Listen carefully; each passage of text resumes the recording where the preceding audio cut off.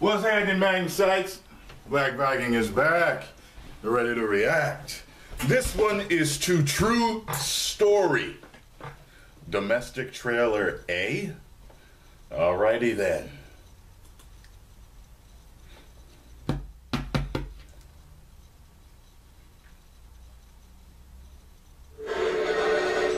Famous Michael Finkel of the New York Times. I think after three years, you can call me Mike. You gonna give yourself a day off now? I'm actually going into the office. Come home soon. I love you. This article was about saving young people's lives. You said write it up. I said write it up, not make it up. I did the best with what I had. You have a future ahead of you, Mike, but not here.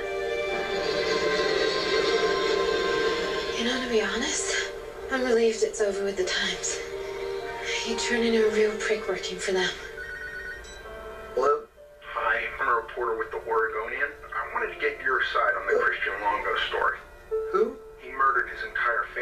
Telling me this? because when they apprehended him, he said he was Mike Finkel of the New York Times.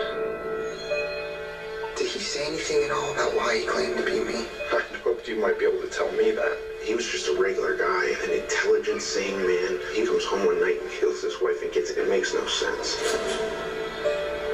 Thank you for seeing me, Mr. Longo. Call me Chris. So why me? I followed your whole career. I guess I felt like I knew you. I want to tell you my side of this. Only you. Maybe at this point it doesn't matter. The truth always matters. It always seems to matter to you. This is a once in a lifetime story. Don't you see this as a second chance? You're an outcast. That's not the man I wanted to be. None of us is the man he wants to be.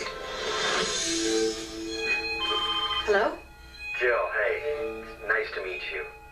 Chris? The Mike, he's been a real friend to me. I just hope that we can be friends too. I believe we're dealing with an exceptionally dangerous man.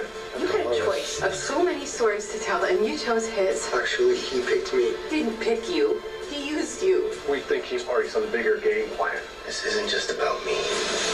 Who, who do you have to protect? He's innocent, don't you? My whole reputation's on the line. Don't give up on me. Are you really going to be the man who might set him free? Chris, did you do what you're accused of doing?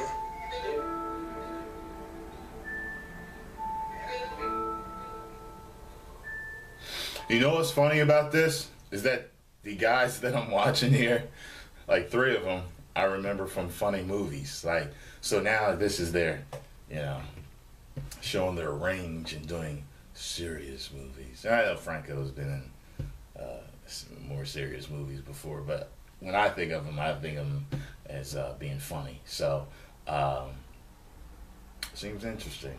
Definitely seems interesting. I'd watch it. What about you? Put your comments below. One million subscribers. Woo!